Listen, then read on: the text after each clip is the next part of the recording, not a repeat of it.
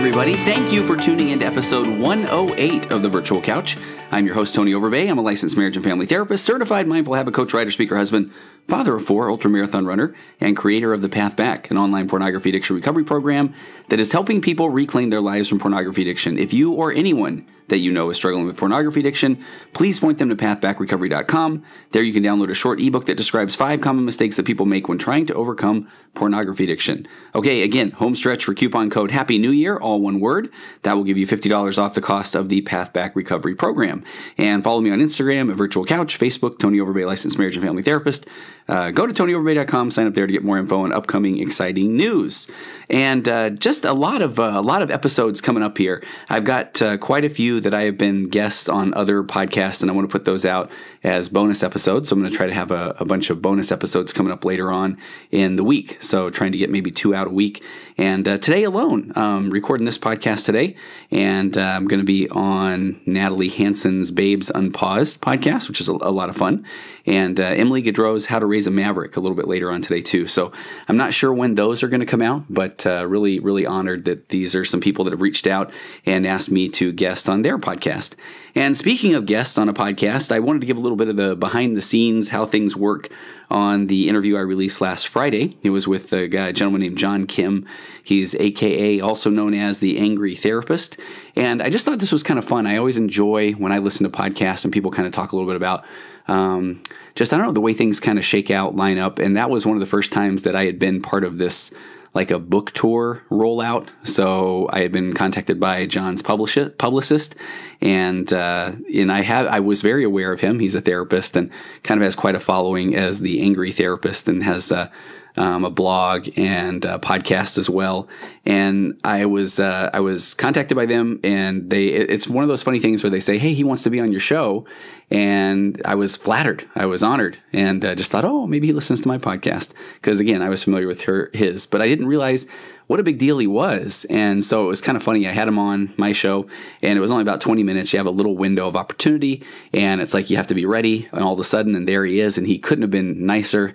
And I really loved the the content that he provided, and uh, you know, for the kind of this angry therapist kind of a vibe, he was so nice and, and kind of just uh, I don't know, well thought out and put together, all that sort of stuff on on the show. Um, again, this episode was out last Friday, and uh, so then I, I, can't lie, I went and looked up uh, on his blog. He had posted a few things, and I thought, oh, I wonder if he'll mention that he, he had a good time on the show or whatever. And I, and I go to his website, and he's got a picture of him on the back of Dax Shepard, literally Dax Shepard giving him a piggyback ride. And uh, Dax Shepard and Kristen Bell have a podcast, which I'm sure is getting millions and millions of downloads per episode. And he just talked about what a wonderful experience it was to be on their podcast. So all of a sudden, I felt like the virtual couch probably wasn't the biggest podcast of his day and that day where he had a bunch of podcasts lined up and that sort of thing. But still, I was just grateful that uh, that you know the virtual couch getting noticed and having a publicist reach out. And uh, I've had more and more of those, which is just a lot of fun. It really is because I just love trying to give um, listeners uh, just more and more um, just some data, some things to, to learn about human behavior or parenting. And uh, John Kim, in particular, talks a lot about manhood. And even though he's got this name, The Angry Therapist, it was a whole lot of stuff. If you listen to that one, and again, it's really short, but it was a lot of things about men being vulnerable, men being authentic, men finding hobbies. Um, pursuing uh, even purpose over passion. I thought that was a really interesting part of the interview. So, highly uh, recommend that if you haven't listened to that episode. Today, though, I wanted to do an episode on an article that was making the rounds last week. And remember, the last week, last week was the week of Valentine's Day. And this study that was going around was titled, it was out of the University of Baylor. And you might have you might have seen some reference to it, but uh, it was it said couples creating art or playing board games release the love hormone, but men who paint most or men who paint release most. So again, couples creating art or playing board games release a love hormone. So so let's talk a little bit about what exactly is the love hormone. It is in fact called oxytocin. So, according to a Medical Newsday Today article, in 2012, researchers reported that people in the first stages of romantic attachment had higher levels of oxytocin compared with non attached single people. And these levels then persisted for at least six months. And so, and, and sexual activity has actually been found to stimulate the release of oxytocin, but there's so much more to this love hormone. So let's kind of take a look at oxytocin in general. And I want to get back to that article because there's some pretty fascinating things in there that I think can hopefully help your relationship with your partner. So, so what actually is oxytocin? And some of the, the maybe the women listening or hopefully very well tuned in guys know that oxytocin is something that you may have heard of during childbirth. Um, it's also important um, in breastfeeding. So, oxytocin is a neurotransmitter and a hormone that's produced in the hypothalamus, the part of the brain. And then from there, it's transported to and it's secreted by the pituitary gland, which is at the, at the base of the brain. And I have to, quick side note, I cannot talk about the pituitary gland without noting that uh, when I was a Guinness Book of World Records fan as a kid, this was well before the internet, and there was the world's tallest man, I think his name was Robert Waldlow, Waldo, Wadlow, 8 foot 11, I think, when he passed away, but that he had uh, something that had stimulated his pituitary gland. So he had just continually produced growth hormone. And I remember reading about someone else, some other very tall person, and they had had a, a tumor or a tumor on their pituitary gland, which then stimulated growth, the growth hormone. And I am not a very tall man, uh, the true confession. So there was always this uh, thought that I used to have of, you know, I don't know, what if I bumped my head just right and it stimulated the pituitary gland? And, you know, I just, I always became fascinated with this pituitary gland. So, uh, but, but now we're talking about the pituitary gland secretes this oxytocin at the base of the brain. Um, so it, uh, secretes the hormone throughout the brain. So oxytocin plays a role in the female reproductive functions, kind of as we mentioned, from sexual activity to childbirth and breastfeeding. During labor, oxytocin increases uterine motility, so it causes contractions in the of the uterus and the womb. And uh, so then, as the cervix and uh, the vagina start to widen for labor, oxytocin is released, and then this widening increases further contractions. So I'm only pointing this out to say, how do we get back to this whole part about painting and board games, talking about oxytocin? Um, so, oxytocin also has social functions. It impacts bonding behavior and the creation of group memory, social recognition, all kinds of other social functions. Oxytocin is also used as a prescription drug under the brand name Pitocin. And a, an oxytocin injection or this injection of Pitocin is sometimes used to start birth contractions or strengthening, strengthening them during labor. But let's talk about oxytocin and emotion. So, when oxytocin enters the bloodstream, um, yes, it affects the uterus and lactation, but when it's released into certain parts of the brain, it can impact emotional and cognitive and social behaviors. So, one review of research into oxytocin says that the hormone's impact on pro social behaviors and emotional responses contributes to relaxation, trust, and psychological stability. Um, brain oxytocin also appears to reduce stress responses, including anxiety, and these effects have been seen in a number of species. So the hormone has been described as a quote important component of a complex neurochemical system that allows the body to adapt to highly emotive situations. So right now, oxytocin is just sounding like this miracle drug, right? Um, but is it that simple? In 2006, investigators reported finding, and this is where it gets a little bit tricky, higher levels of oxytocin and cortisol. Now, cortisol is a stress hormone among women who had gaps in their social relationships and more negative relations with their primary partner. The participants were all receiving hormone therapy following menopause. So, kind of a lot in that sentence right there, or that paragraph. Um, animal studies have found high levels of both stress, so this cortisol, and oxytocin in voles. So, uh, there's your, your vole studies for you um, that were separated from other voles. How sad. So when uh, voles were separated from other voles, they found high levels of again both the stress hormone cortisol and oxytocin. However, when voles were then given extra doses of oxytocin, their levels of anxiety, cardiac stress, and depression fell. Um, man, I always want to just, you know, the, there's a thing called a Beck's Depression Index, which sometimes you give as a therapist, and I'm just trying to figure out what the vole version of that depression index is. But uh, they could tell that the depression fell in these voles when they gave them doses of oxytocin, suggesting that stress increases internal production of oxytocin while externally supplied, do- su- supplied doses can help reduce stress. So it's kind of, the, I guess, the big question, and well, it says even here clearly the action of oxytocin is not straightforward. So stress can produce both the stress hormone cortisol, and it can also pump up the oxytocin. So there's some even theories there that's kind of the, the, the curiosity around does it produce this oxytocin with the stress, kind of saying, hey, if you're feeling stressed, you also need this um, bonding hormone, kind of just to say, maybe I need somebody when I'm feeling stressed. I think that's kind of fascinating. A review published in 2013 cautions that oxytocin is likely to have a general rather than specific effects, and that oxytocin alone is unlikely to affect complex, higher order mental processes that are specific to social cognition. The authors also point out that a willingness to collaborate is likely to be driven by anxiety in the first place. Um, so I thought that was kind of interesting. So it's saying that when somebody does feel anxious, that their go-to might be then a willingness to collaborate. Even though at times when people feel anxious, they want to withdraw socially, it might be the brain pumping out this oxytocin that's saying, "Hey, um, I know you're feeling overwhelmed, but it might be a good time to reach out to somebody, and all we can do is throw you a little bit of oxytocin so that you can." Um, kind of you know kind of try to find somebody that you can bond with in this moment. So nevertheless, oxytocin does appear to be associated with social behavior, including maternal care, bonding between couples, sexual behavior, social memory, trust, that sort of thing. So back to the study out of out of Baylor. So according to the researchers from Baylor, this study has implications for the everyday family. It's saying that it's important to find those small, meaningful ways to interact. So my podcast on shared experiences a few weeks ago, where I gave some research that said that you know talking about a movie basically between friends or not even necessarily close friends per se carried more weight than an individual driving their Ferrari in essence to the base of Mount Kilimanjaro and then climbing it by themselves. So again, we want these shared experiences. So it's starting to look like this uh, this oxytocin, this this love hormone, and there's some other research I found where they call it the hugging hormone. But uh, whatever the type of hormone is, it's almost saying that the brain is producing this thing because it wants us to go find somebody to hug wants us to find somebody that we can bond with even when we're feeling stressed. So let me go to the, the press release on the this study. It says when couples play board games together or take a painting class with each other, their bodies release oxytocin, sometimes dubbed as the quote hugging hormone. But men wielding paintbrushes release twice as much or more as the level of women painters and couples playing board games, the Baylor University study found.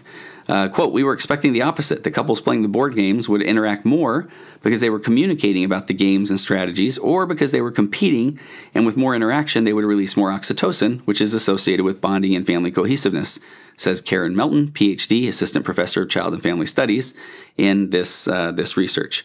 The study, which is called Examining Couples, Recreation, and Oxytocin via the Ecology of Family Experiences Framework, is published in the Journal of Marriage and Family uh, and also the Journal of the National Council on Family Relations. So, researchers also expected that painting couples would be more attentive to the instructor and to the canvas than to, the, than to their partners, but instead, couples in the art class reported more partner touching than couples playing board games.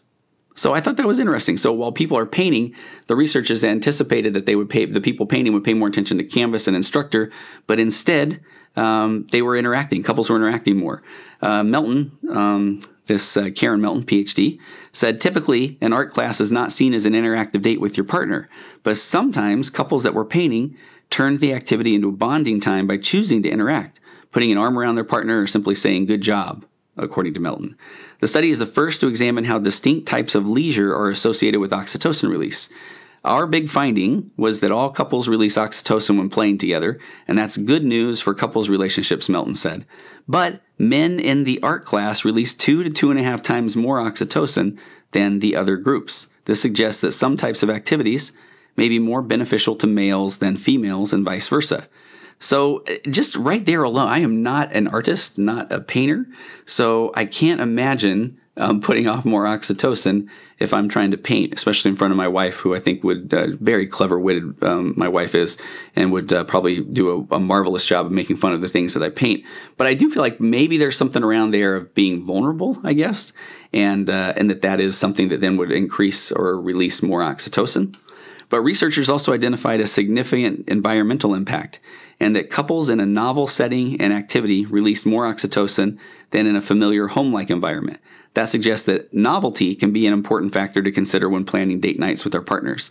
So, uh, translation kind of what that's saying is that get out and do something different. You know, so when it talks about novelty releases more oxytocin than just being at home as well. So I don't know if that played into the part where if the, they're out in an art class, if they feel like that's more of a unique situation and, and thus here comes more oxytocin being um, produced by the brain.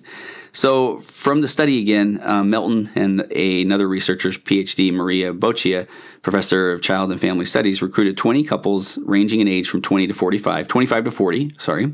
Couples were randomly assigned to participate in one of two couple dates game night or couples art class for one hour. One group played board games in a familiar home like setting, so that might play into that whole novelty aspect, right? Couples were alone. These couples chose familiar games that would not require them to read instructions. There's kind of a joke there, right? I don't know if you ever tried to, um, whoever is going to read the instructions on a new game in the home. Um, I feel like that can be a positive experience, oftentimes, maybe not. But among the games were cards, checkers, chess, puzzles, dominoes, Monopoly, and word games. Meanwhile, the other group participated in painting classes for couples at a community art studio. These couples participated in two groups of five couples. They painted a simple beach scene with their initials in the sand. So that, that got me a little more interested. I think I could maybe do a little bit of a beach scene. It wouldn't be very impressive. The art instructor had prepared the canvases to reduce interactions between the couples. To measure participants' oxytocin levels, um, researchers took urine samples before and after the activities, always making for a very, very smooth uh, couples night, I'm sure, the before and after urine sample. They also administered a six item survey about the couple's familiarity with the activities and about their communication, touch, and eye contact with their partners during the sessions, which lasted for about an hour. In the future, Melton and Boccia want to explore further what role the environment may, may play in oxytocin release. The researchers also noted that their study differs from others in which participants have been asked to perform specific actions, like cuddling, hand holding, or massage, sometimes for an assigned period. The physical interactions in Melton and Boccia's study took place without prompting and lasted briefly. So I do think that's kind of significant. So they're talking about just more of a natural environment where people may um, put their arm around each other or touch a shoulder or an arm, which if you're uh, an attachment theory person, and uh, especially the work that I, I love talking about in emotionally focused therapy, there's some pretty neat studies there that just show that somebody going in to get a shot, for example, if they get a shot um, and their partner is near them or with them, their cortisol levels are less than had they been alone. But if their partner touches their arm or shoulder, then those stress that stress hormone oxytocin is even lower. An oxytocin, sorry, cortisol. The cortisol levels are even lower. So just even that physical touch from a partner can uh, can lower um, cortisol, can lower the stress hormone. So, again, talking about this study, it says this has implications for the everyday family to find those small, meaningful ways to interact when they're eating dinner together, or going for a walk, or doing homework with a child, or sitting on their couches with their iPads, Melton said. So, while yes, this advice is simple, we also have to make sure that we're doing the hard work, they said. This is the hard advice. We have to make time for our families if we want to have families. So, very, very interesting study, and, uh, and I love that. So, it isn't just saying, I like that part at the end that it's more of we need to find those small, meaningful ways to interact when we're eating, whether dinner together, going on a walk, doing homework with our kids.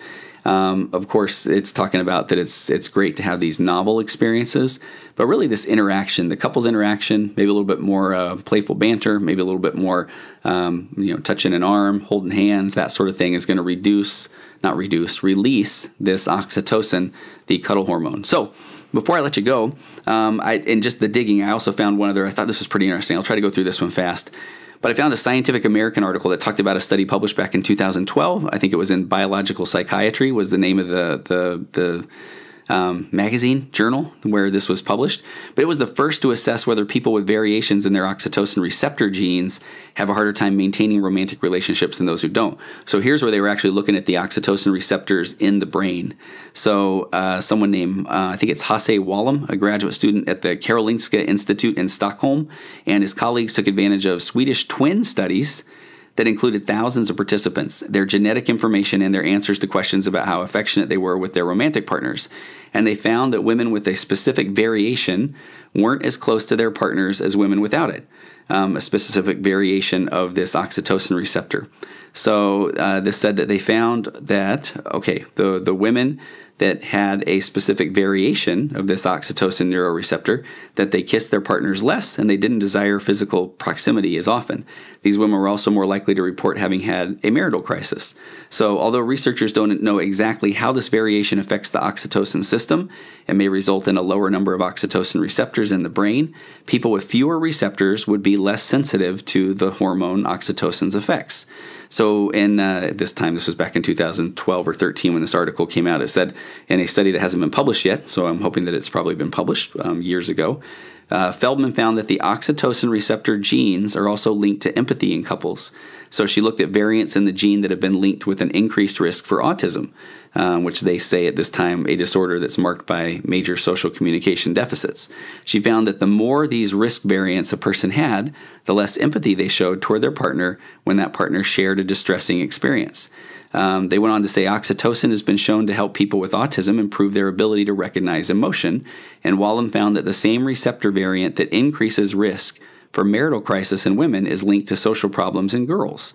So these include trouble getting along with others and a preference for being alone. This and Feldman's work on oxytocin. Um, oxytocin's importance for the mother child bond suggests that the hormone is more involved in the communication component of love between couples than the romantic component of love. So there's quite a bit more in that article. I'm going to skip that, but. Uh, you know, it says although research has shown that good communication predicts relationship success, successful communication in couples therapy won't always ensure that partners stay together. The goal is to help two people understand each other's point of view and come to a mutual decision. Um, if people are not connected at all, then oxytocin is not going to force that connection um, is what the survey said. And I love that that was the conclusion. As a marriage and family therapist, that part that is pretty um, important there is these are people that are coming at this completely from a research basis and how they say that research has shown good communication predicts relationship success, but even successful communication in couples therapy won't always ensure that partners stay together. Um, but with the goal is to help people understand each other's point of view.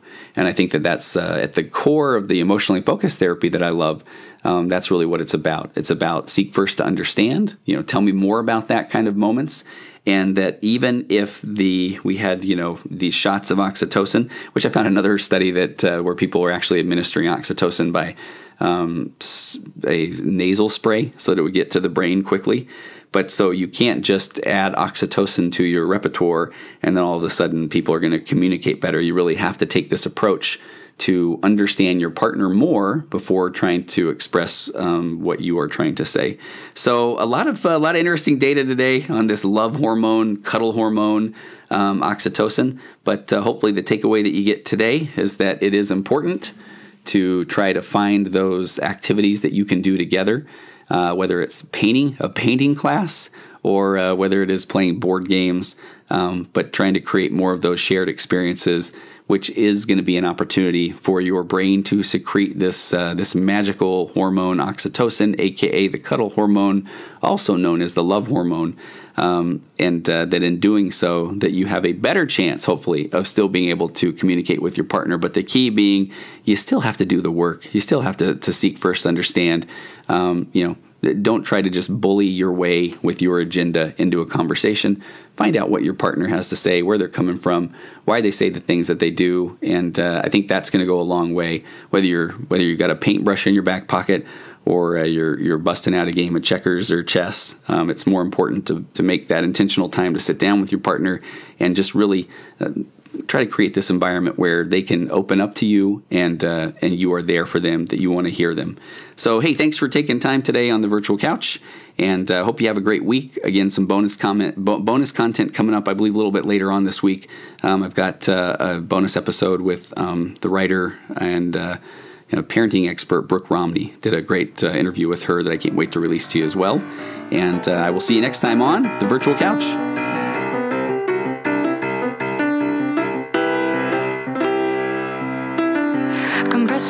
oceans flying past, our heads and out the other end. The pressures of the daily grind